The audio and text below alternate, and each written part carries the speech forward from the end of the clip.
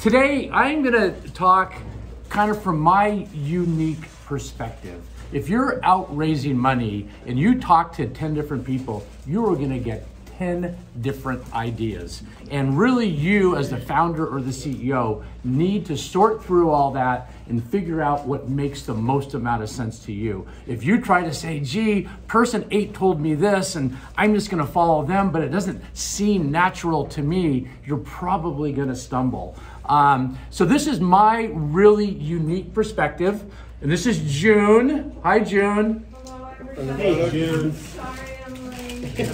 June is the matriarch of, this, of the startup community here in Spokane. Everybody loves June. Thank you. It took 10 years, but it worked. and we have a lunch for you and, seats. Um, so this is my unique perspective. Now, I want to qualify the comments I'm going to make. My comments are targeted toward people who are really first time entrepreneurs. They're first time out raising money. If you are Mark Zuckerberg or Jeff Bezos, my views are not going to apply to you because just based on who you are, you could probably raise a billion dollars tomorrow on any terms that you want. Now, and those are the stories that we all hear. We all want to be those people, but you have to start. And the advice I give, this is tailored to first time entrepreneurs and really tailored to get your financing done. You may not maximize the terms, but get your financing done. And if you're a first time entrepreneur, frankly, that's what's most important. Get those dollars on the door, in the door, and get started. So I kind of just want to caveat my comments for that. Um, and one other caveat as well, too. Oh, my comments also have no reference to the to what your company does. I'm starting with the premise that you have a reasonable idea, a reasonable market, and a reasonable team. And I really fully believe that kind of with what I'm saying, if you have all of those sort of things, uh, you should be able to get your, your financing done. Now I'm going to break it up into four different categories. How much to raise, how to structure, how to set evaluation, and what process to follow. And, and, maybe kind of spend 10 minutes on each. And I've kind of got some prepared thoughts here, so um, don't uh, uh, uh, uh knock me down for kind of reading from notes here. And I'm going to hand this out at the end, but I don't want to do it in advance because, like I said earlier, everyone will just go to the punchline. Um, so, first of all, how much to raise? Um, I always believe at a minimum, you ought to raise sufficient amount of capital to get you through 18 months with some amount of cushion. Don't assume everything goes right. Assumes you have some delays, things take a little bit longer, but it will get you through 18 months. And hopefully by the end of that 18 months, you have um, some meaningful milestone that will enable you either not to have to raise more money because your cash flow break even, or you can demonstrate that you've, you've, you've got your product out on the market, you have your first customer, you've generated revenues. And with those milestones, then you can go out and raise more capital. So I say a, a minimum of 18 months. Now, that's going to be a little bit qualified by if you are a first time investor and you think, gee, to get it through 18 months, I'm going to need 5 million you might want to step back because if you are a first time entrepreneur here in the Spokane, Coeur d'Alene, and Sandpoint area, and you don't have a background of startups, raising $5 million might be tough. So I'm going to caveat that by it's got to be a reasonable number. And what's reasonable? I don't know, 250, 500, 750, a million and a half, something like that. Um, unless there's something in your background of what you've done that really telegraphs to people, man, you're on to something.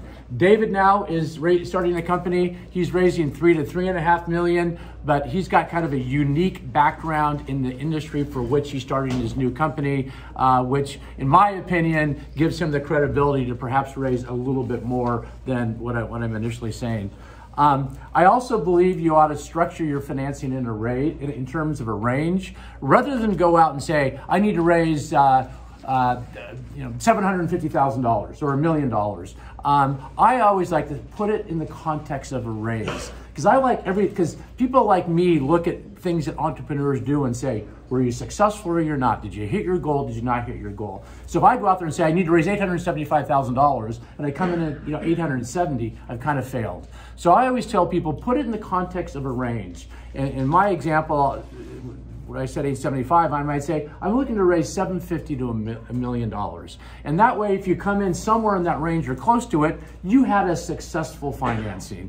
Um, and you know, you can you can all and maybe in the back of your mind you'd like to raise more, but I find that too many people, particularly in effervescent market environments, go out with too high of an ask and they come in less and it's kind of deemed a failure. Why not go out and kind of suggest a range or the lower end of the range and be so successful that, hey, I'm about to raise 750 to a million bucks. You know what? I closed at 1.1 million. That just shows momentum, shows success. And, and so I try to, when I'm deeply involved in the financing, try to do that where at the end I come out and raise a little bit more than I thought.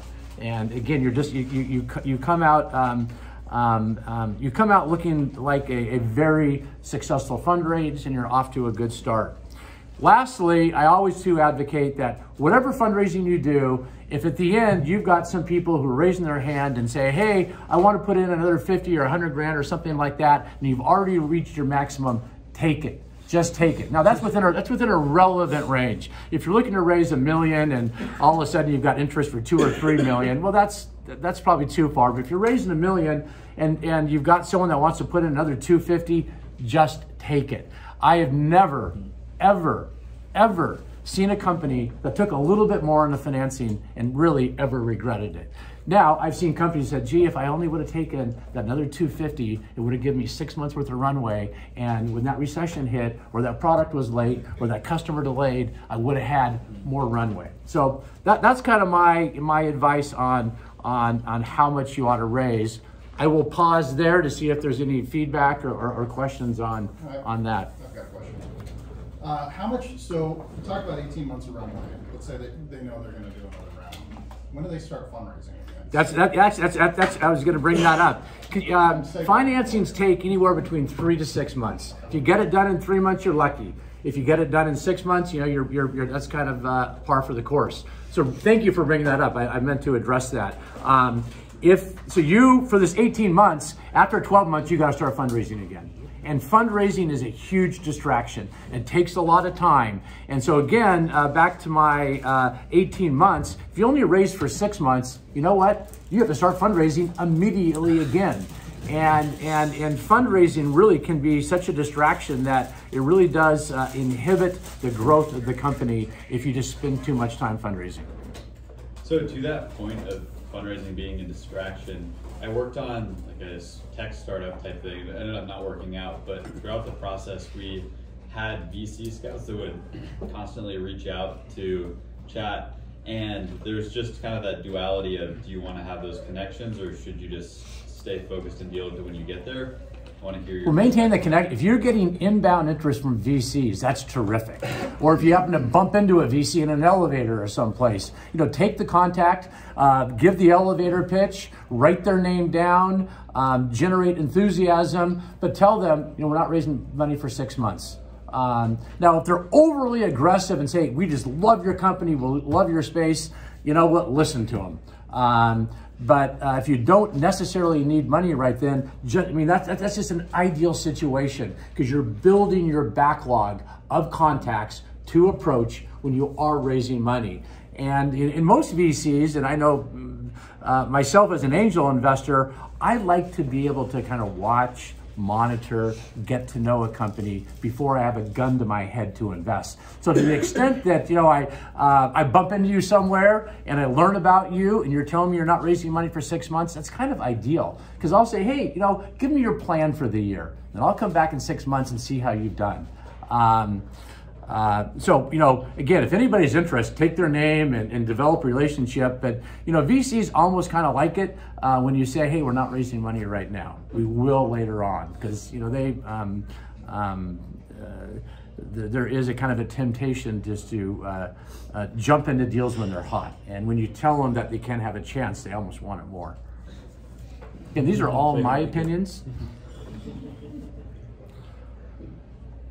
Anything else on that? On how much to raise? Okay, next we're going to move into uh, how should I structure my financing, and this this is probably you know the next two points are things where I really have a lot of passion.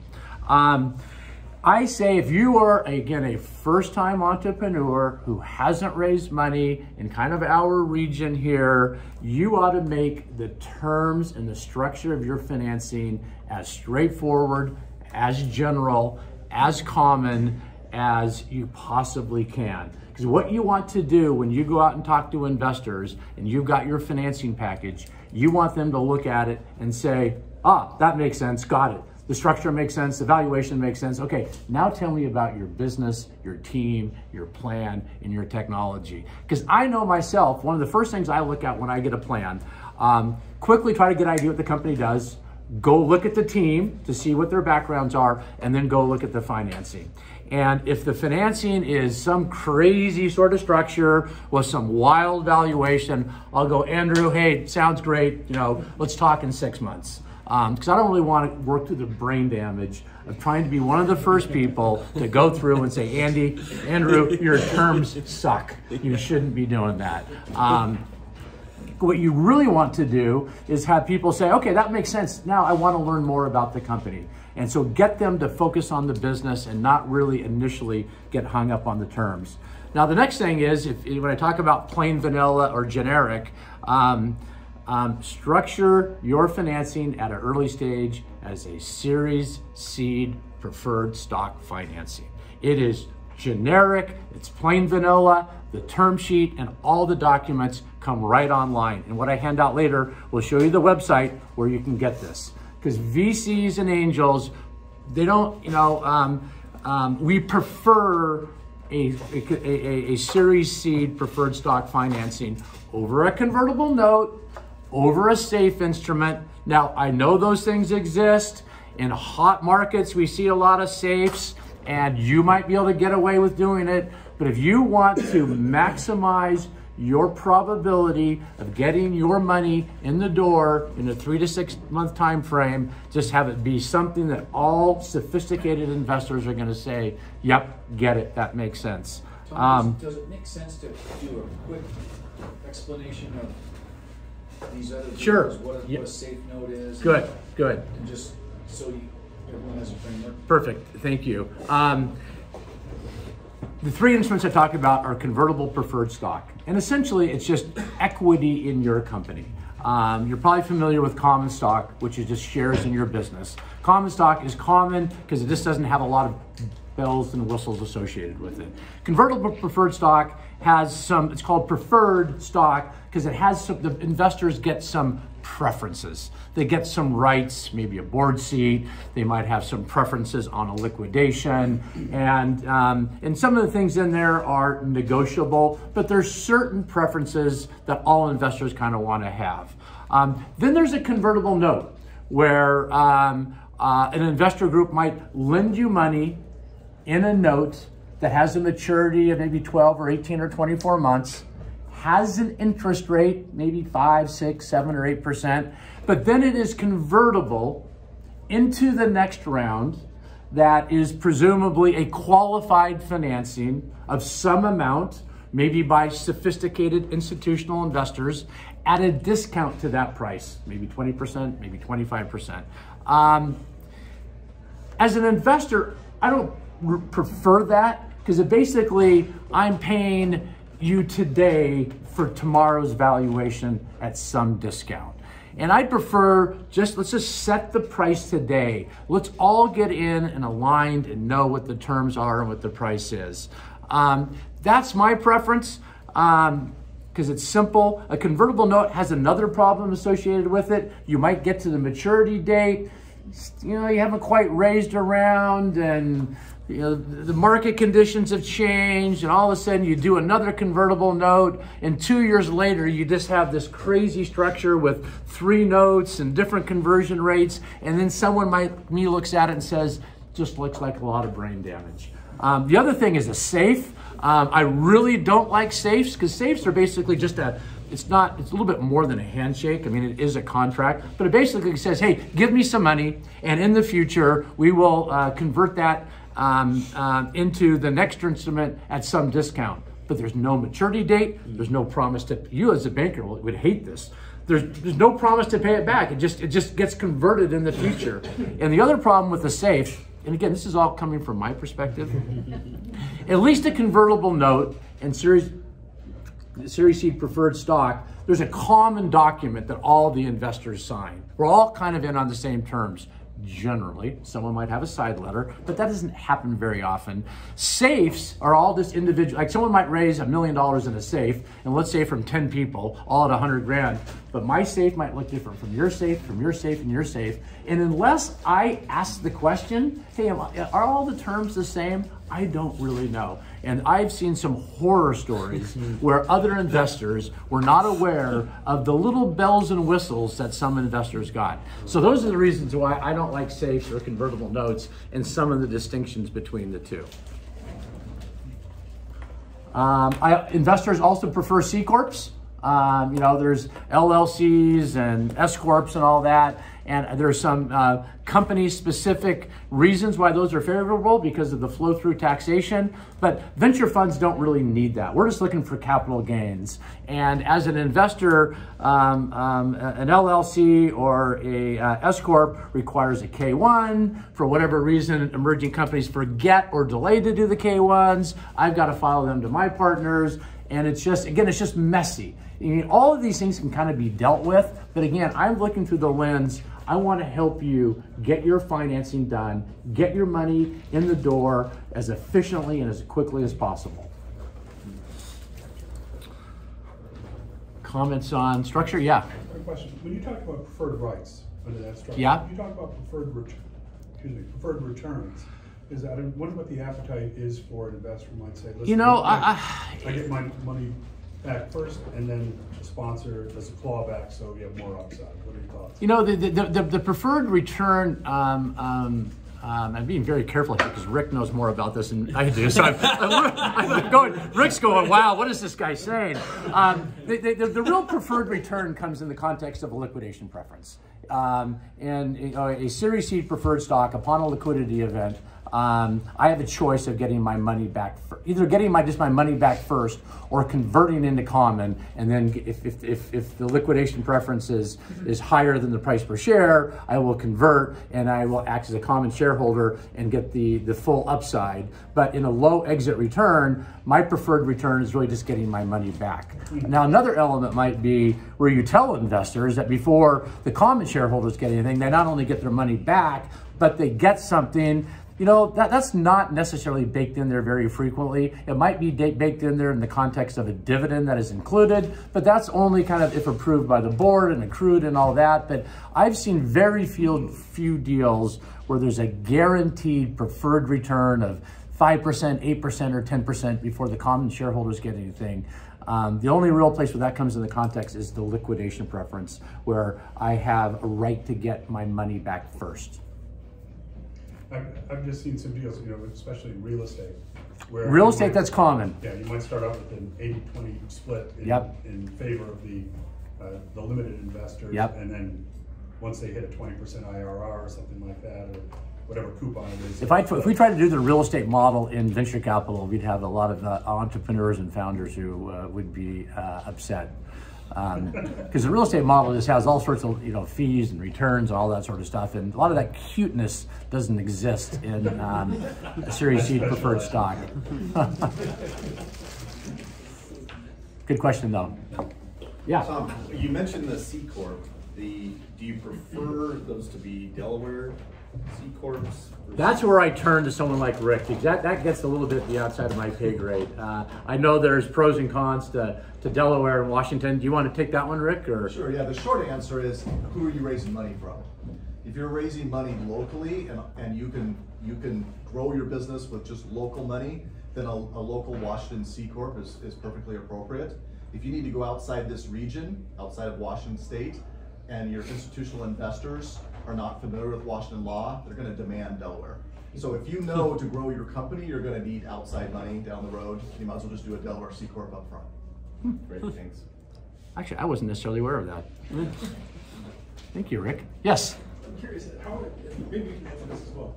Um, uh, I have a lot of people from the entrepreneur side of things say start an S corp, it's, it's low cost, it's easy to administer, and then you're talking about like K1s, right? From the investor side, a C corp is more preferable. From a founder's side, it's more work. right? So if I need to change from a Washington C or S corp to a Delaware one, is it a headache? Is it just filing some forms? Like, how easy is it to shape shift? So we're getting in the weeds, but it depends on the nature of the business. Yeah. So an S corp makes sense for a service-oriented business. It is toxic if, it, if you're holding assets because like you, you never want to put real estate in an S corp. You put real estate in an LLC. The LLC can have the waterfall provisions to give people preferred returns, but you never you never put real estate in an S corp. You're asking for a tax hit. Oh, what a tug of war, okay. So it just depends on the nature of your business. And again, you know, mo- mo- so if you're a dentist, if you're a dentist, then an S corp might make sense. If you're a chiropractor, if you're some kind of service business, S Yeah. corp makes sense. But if you're a, a business that's gonna be a tech company, you might as well do, be a C corp, because that's what your investors are Yeah, gonna we're want. hard tech, like patents and all this kind of stuff, so C corp. C corp. would be- be- Yeah, but you know, again, my distinction is if you're raising money from sophisticated investors, they're going to strongly want, prefer, recommend a C corp. And and um, and again, again, my, I'm looking at this through the lens of putting your financing together in a way that um, is uh, um, most acceptable to angel and VC investors. Any other questions on that topic? Okay, next we'll move into valuation, um, which, you know, again, you, you ask uh, 10 different people, you're going to get 10 different ideas.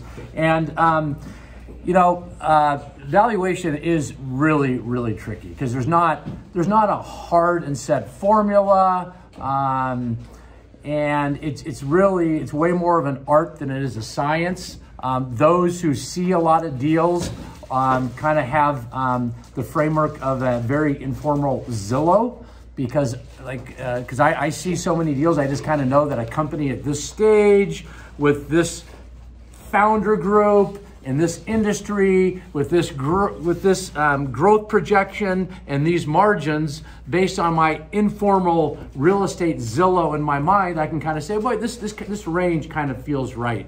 But the average first time entrepreneur doesn't really have that. So I always suggest you know go out do go out and do your research you know talk to people see what others say. But one thing I say is only really solicit valuation advice from people that um, are either potential investors, they're active investors, perhaps they ideally they've taken money from investors, someone that is really in the know, someone that has seen a lot of transactions and, and ideally is a likely investor. Because what I hear all the time, because I'm always the bad guy when it comes to valuation discussions, people will come to me, we'll talk about valuation, and I will kindly and thoughtfully and constructively uh, and graciously maybe pick a different number. Uh, but no matter how nice and diplomatically I try to do it, they'll go, hey, Tom, got, you know, my next door neighbor, my buddy, my bowling partner, he says the company's worth 50 million. And you're telling me this? And I go, oh, well, is these people ready to write a check? Oh no, they don't. They don't. They don't touch this stuff. It's way too risky for them. But they're adamant it's worth 50 million. Now you go talk to someone that has maybe made 10 angel investments, or actively invests, or has accepted capital from somebody. Um, they're going to give you probably a more educated uh, sort of valuation opinion. So that's what I suggest that you do. Um, and I, I have one kind of interesting perspective because I've seen capital formation as an agent. I was an investment banker for 10 years. As an investor, I was a VC for 10 years. And as an entrepreneur, with the, company Etailz that I started, we took outside capital. So I've seen it from all perspectives. I've made over 100 investments. I know the upside and downside of, of, of uh, taking money in a premium valuation. And you want valuation thinking from um, someone that has similar experience because that's going to be the most valued as opposed to your next door neighbor or your tennis partner or something. Um, once you have had all this chatter and developed this range, I suggest you pick the midpoint of the range. Maybe take the midpoint and add 10% or something. Just something that is, you know, again, when a sophisticated investor sees your valuation, they'll go, okay, yep, that makes sense uh, and then they'll focus on your business. Um, rather than try to say, you know what, the top end of the range, you know what? I'm, I'm going to go for that because I want to minimize my dilution. The problem, you might get it. I'm not going to say, I'm not going to necessarily discourage you from doing that, but just realize the, the negatives are it might take you six or nine months to get your funding done. Um, um, you may not get it done. Um, you may have to end up kind of going back to the midpoint of the range. Uh, and the one thing that is really bad is if your fundraising takes too long, it develops a stench. Um, it gets a little stale. People like me talk to each other and they go, hey, you know, Joe's been out there for nine months raising money and yeah, he's how he's real struggling. You, you know, probably re, should have reset the valuation. Then finally, Joe wakes up and goes, "Got it. Okay, I'm going to go out and change the valuation." But it's kind of like when you see the house on the corner that's been on the market for a year, and all of a sudden someone says, "Press, slice." Slash. Price slashed. Price um, you go, well, maybe something's wrong with this thing. Again, I'm setting it up, and and even if you pick the midpoint of the range and you go out, it doesn't mean that you get so much interest. People love your deal so much. You're subscribed three times, and you go, I just have all the interest. I'm I'm bumping it up to you know 40% over the midpoint. It preserves the option to increase the valuation, but it's just your starting point to get to get the discussions going. And really, for a first-time entrepreneur, when you send your deck out, your real goal is not to sell them right when you send it out. Just get that first meeting. Just get that first meeting. Have the chance to look at a sophisticated investor on a Zoom, on a call, or face to face. And if you set too high of a valuation, you may not get that meeting, and it may take you too long to um, get your fundraising done. Now, I, I kind of have another. Uh, um, I also think you ought to select a valuation um, that you can look a prospective investor in the eye. Think of your mother your best friend, a widow, an orphan, and, and look, and, and look at, you got to look them in the eye and say, you know what? If you invest at this price, I'm highly confident I can give you a rate of return that's commensurate with the risk that you're taking. And I, I, I like that in uh, an entrepreneur because I want entrepreneurs, frankly, to worry every night about me making money for them.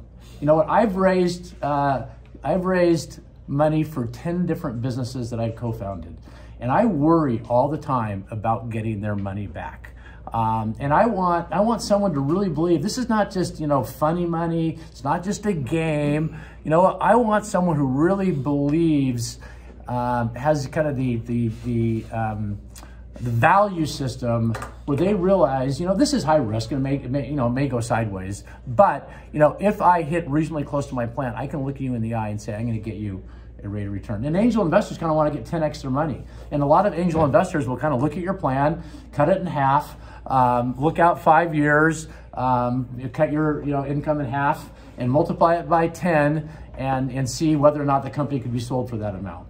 Um, so that's kind of just another more subjective thing. Um, the other thing too is um, be mindful of the downside of raising capital at a premium valuation. Again, a first-time entrepreneur has never been through a down round or never had the board take them out and shoot them in the head and fire them. Um, and I, I, kind of the analogy I make is if uh, if I go buy just kind of an you know an, an average car, just a Chevy, but I pay three times the market value for that car, and that car, the blinker doesn't work on day one, or there's a little flaw in the fabric, I'm gonna run down to the dealership and say, Andrew, fix this now, okay? Now, if I buy the same Chevy and I get it for, you know, market price or 10% below, I'm going to be a little more, you know, uh, understanding. And investors are that way too. Okay, you know what? I just paid up for your valuation. You're going to perform. You are going to perform. And if you don't, there's going to be consequences. I'm being a little dramatic here, but and then once you, but if you have to get to the scenario where you have a down round and you have a down round either because the market's corrected like they have now, or because you're late on delivery of your product or the dogs aren't eating the dog food, it's ugly. And I raised money last time at 10 million. We're coming down now. We're putting more money in at a three million dollar valuation, and it's you just so this be and, and I I tell this story to first time entrepreneurs and they, they, they nod. They've talked to 10 other people. I'm the one person whose advice they don't take. And then they have a down round. They go, man, this is painful. I remember when you talked about it. I didn't think it was going to happen to me though. Because, you know, because one good thing about entrepreneurs, they, they, they, they, do have so much conviction and belief in what they're going to do that sometimes it's difficult for them to sit back and say, I wonder if everything doesn't work out right. Mm-hmm. So that's my preaching on valuation. Rick? Can we play, play point counterpoint? Well, no, I think it, it'd be great if you would flesh out a little about why a down round is so painful. Like the end result is the, the entrepreneur loses that much more ownership of the business, right? Yep, yep. Um, yeah, it's just more dilution. I mean, if you know, you might uh, be able to get a premium valuation on day one, not dilute yourself so much. But if there's a down round, the down round is probably going to, you know, just if, if if, if the pendulum swing swing this far for the the, the premium valuation, it's going to go that way in a down round. And um, the, the, risk of that is less if, again, you kind of, you know, picked, if your starting point, your evaluation was somewhere kind of, you know, in the midpoint. Just one thing that maybe you I don't mean to keep looking at you. I'm not. No, I know. I, I stare at you. Sorry, Tom. Uh, maybe pre-money, post-money. Yeah. Something about that for people. Yeah, that's, that's yeah, that, a, that can be a huge thing depending on the amount. Do people understand pre-money and post-money? Okay, let's say that um, you have just started a new business and someone like me comes and says, okay, your business is worth a million dollars. That's the pre-money valuation, the pre-money valuation. Then let's say uh, I'm going to invest half a million dollars in your business. Now the business is worth 1.5 million. That's the post-money valuation. And, and, and the, the valuation of the company has just gone up by a half a million by the amount of my investment because we said it's worth a million dollars. I just throw $500,000 on top of it. Well, now it's worth a million and a half. And then that, that implies if it was worth a million and now it's worth a million and a half and I put in a half a million, I own one third of the company. And thank you for bringing that up. So to me, it's it could be big. It's just something because you just if you don't know, you don't know, and investors surely help you do it in a certain way compared to how you probably want to do it. Yeah. And if you dilute before the round closes, pre-money or post-money, in this case, it could have a major impact on your dilution. So. Yep. Yep. Thank you, because yeah, I, I, I, just always kind of assume people understand yeah, that. I tend to gloss over it. So you just mentioned diluting pre-money versus post-money. Mm-hmm. You want to dilute. I mean, obviously, so. you'd want to. I would want to dilute well pre because you're, you're not including their capital into your dilution. And, and, and in the language of yeah, financing, word it too. Right? Yeah, the, the language of financing, when, when you go out and say my company's worth a million dollars, generally, almost always, that's in the context of a pre-money valuation. You say my because my, my, money my company's worth a million. I value my company at a million dollars. Then how much you raise? If you raise a half a million, the post is a million and a half. You raise two fifty, the post is a million two. So it's kind of hard to you know, it's unusual to preference it in the context of a post-money valuation because you don't necessarily know what you're going to raise. Gotcha. That's the thing. There's tools like Carta, things like that, where you can build cap tables and build scenarios out where you can go through these raises with your team so everyone understands how they're going to be diluted in different situations. You know, we've only done one round and we we learned a ton kind of on the fly. So it was nicer. It'd be nicer to have had some of these scenarios figured out beforehand. Yep. Another question with the length of the rounds and how you, let's say we're raising a million dollars and we're not going to make it there. Are there, uh, like, do investors make claims that say we will not give you the money unless you hit your round, or is it typically fill it up as much as you can? Very insightful question, and I and um, I'm going to kind of hit on that in the next section, but I'm going to bring it up now. Is um, Sophisticated investors will typically say, let's say you're raising a half a million. And a, a, a, a, sophisticated investor might say, or most typically would say, tell you what, I'll, I'll put in $100,000, but it is predicated on you raising the full 500,000. And I will not either release the funds from escrow or provide my check until you have the full $500,000 raised. Because if, if I give you, if you, if you and I meet and you say you're raising a half a million and I give you a hundred grand and you go deposit it, I'm not only taking the business risk, I'm also taking added financial risk that you don't raise the balance and all of a sudden, a couple of months, you're out of money. Now, I've unfortunately seen less sophisticated angel investors get burned by that because the founder or the fundraiser uh, says, "Oh, hey, here, you know, here's the documents. Give me the check," um, and they're probably not advised by someone as uh, capable as Rick, and that money uh, gets uh, uh, uh, deposited, and the less sophisticated angel investor doesn't even know. Um, so, um, um, I always recommend that companies say, "I'm raising X amount," and not really take that money until they have the full amount. Now, there's exceptions to that. I mean, if you are in full transparency, telling the person that, hey, I'm, I'm, cashing your check and we're doing what's called a rolling close, um, you know, uh, as long as you're upfront and everyone's okay with it, it's fine. I typically don't like that because I'm taking additional financial risk. Okay, so follow up on that. If you are waiting until you fill the full round, as a founder, uh, would you recommend having the investor put it into escrow rather than keeping the check just so they can good that, that, that's that's kind of my my oh, next sorry, my next section where I talk about process but I'm going to answer your question now. What um, in the various things I've raised money for I've had situations and I've done it both ways. But what I recommend is if an individual investor says yes give them a subscription agreement immediately have them sign it take their check and put it in escrow okay. uh, that way you have it and they can't change their mind what I've seen before is, and, I, and I've, I've, I've been guilty of this myself, where someone says I'm in, and I go, great, I'm going to get back to you in a couple weeks when we do our closing. And then um, something happens. The market crashes. Um, uh, people go through a divorce. Uh, someone gets sick. Uh, kids' college education comes up. Uh, they talk to someone who says it's a stupid idea and they change their mind and they call me up and say, hey, Tom, you know, uh, I know I said I'm in, but I've, I've, I've changed my mind. But my wife found out. My wife found that happens. No, that happens a lot. That ha- no, that's another one. My wife found out. Or I, I hear, hey, don't tell my wife. Um,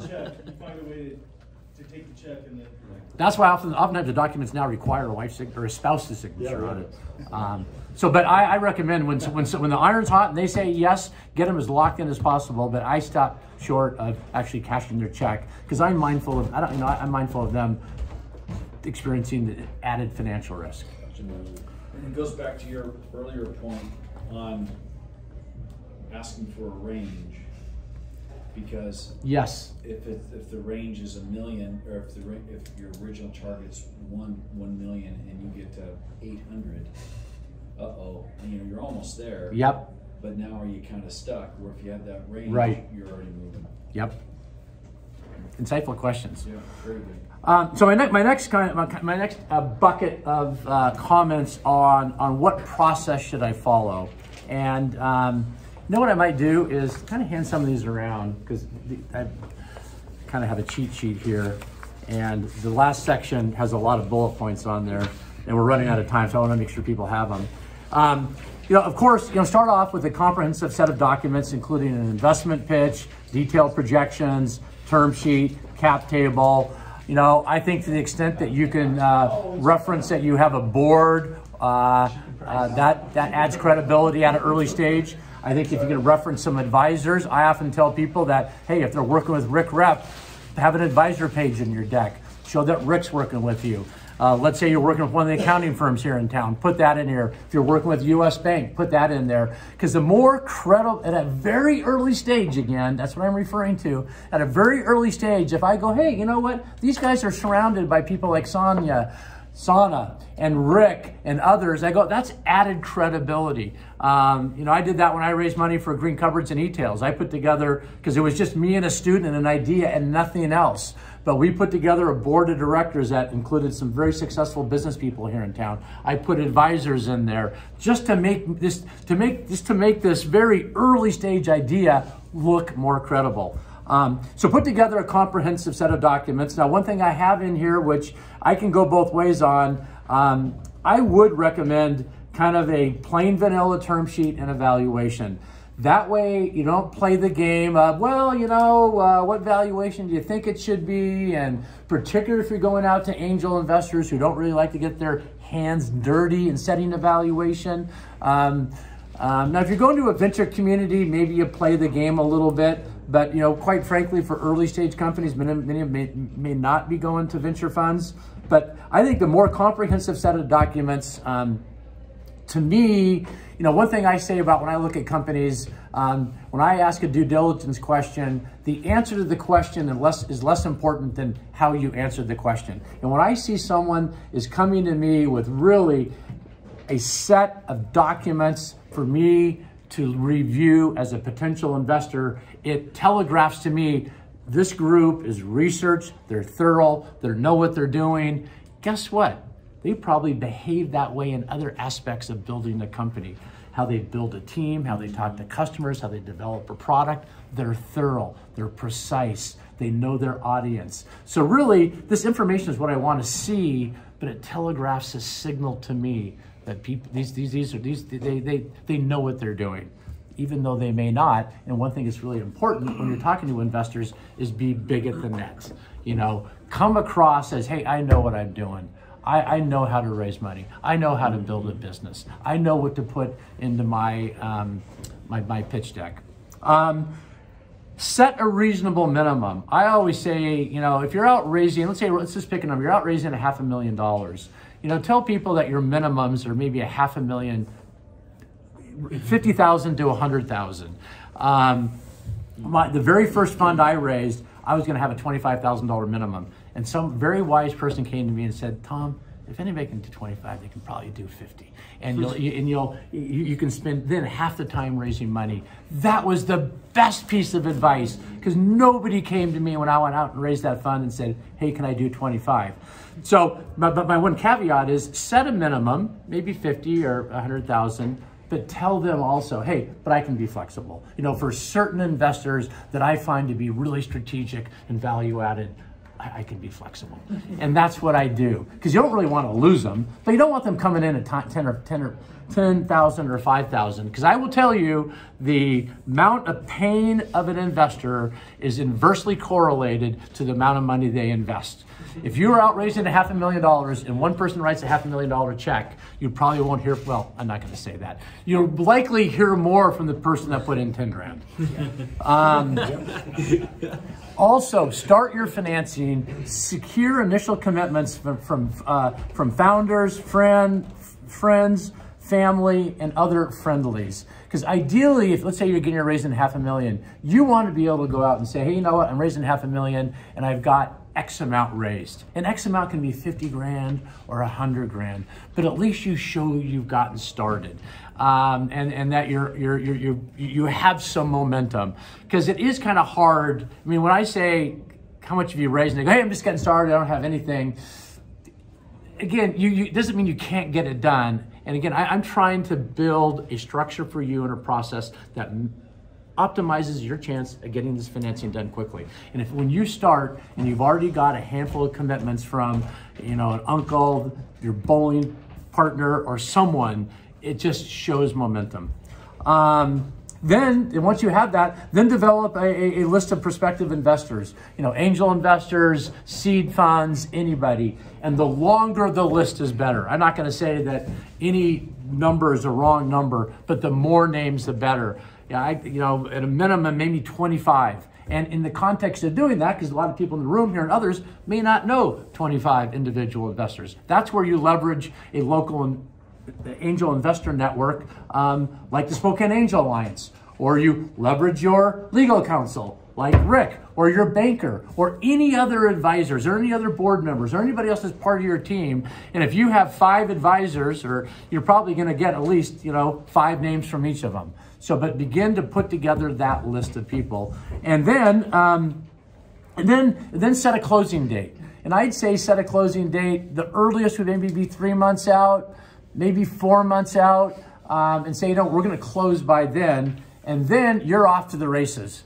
You, you've set your terms, you have your documents, you have your list, you have your early founders, and now email, call, meet uh, with these with these people, and and every day add more names to the list, and then just rinse and repeat. And just keep calling and talking to people and meeting with people until you get a yes or a no. a yes or a no. And then when you think you kind of, you know what, hey man, I can see it. I've, I've got, I got, you know, three quarters of it committed. Um, I got some fence centers out there. Um, then you just go out and say, hey, guess what? Got momentum, and then put a closing date out there. And then just go out there and tell everybody you're closing on this date. And then people go, wow, there's momentum here. And the fence sitters, you know, quickly then either come in or fall off the fence. Um, and then I think we talked about, oh, then also incorporate feedback. As you're talking to prospective investors, there might be some common feedback you get. And generally, I would say if you're hearing something regularly, you know what? Unless you're adamant that what you're doing is the right way to do it, incorporate the feedback. Because um, your, your pitch will get better, your presentation will get better. You'll learn more from your pitches, uh, from your from your meetings, and incorporate that in your, your presentation.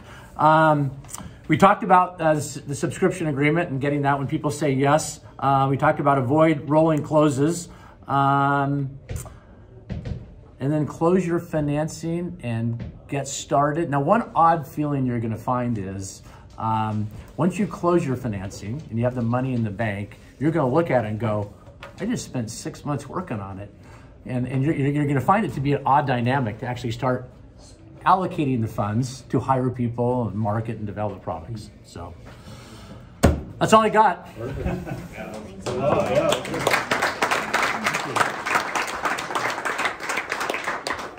Questions?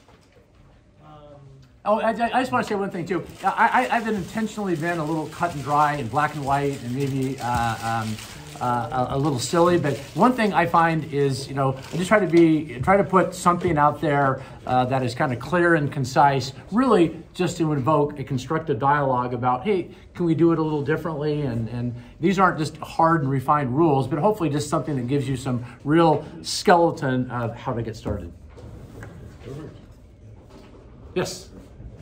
You mentioned uh, at the end there that, uh, you know, after you get funded, you're going to hire people. What do you do about set asides for equity for management? What's the typical thing? Good, good question. I, I meant to incorporate that as well. I typically like to start my my pre-money cap table with a 20% equity pool. So if I say my my pre-money valuation is a million dollars, just to pick a round number, that means 20% of that has been allocated toward the future hires. And so you're talking about you're giving away that or setting aside the twenty percent pre-dilution. Pre. Now that will be diluted by the financing, yeah. maybe down to fifteen percent or something. And um, you know we could we could negotiate all day long. You know maybe it ought to be pre or post, or should it be fifteen or twenty five percent? But if I were just to pick something out, I'd say the pre-money cap table has a twenty percent reserve for uh, options for new hires and again, you'll get 10 different answers on that, but that's, that's I think, is something is um, a good starting point.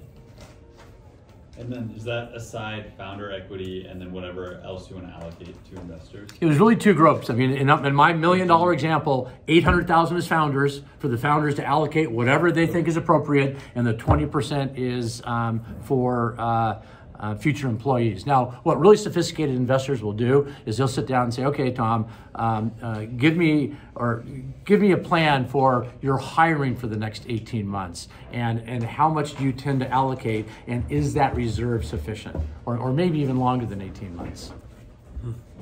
But, in, but, but, to, but to your question, incorporating something in there in that pre-money cap table is important. So thanks for bringing it up. Do you ever go back when you get a no? Like if you're getting close to the closing date and you're not quite there?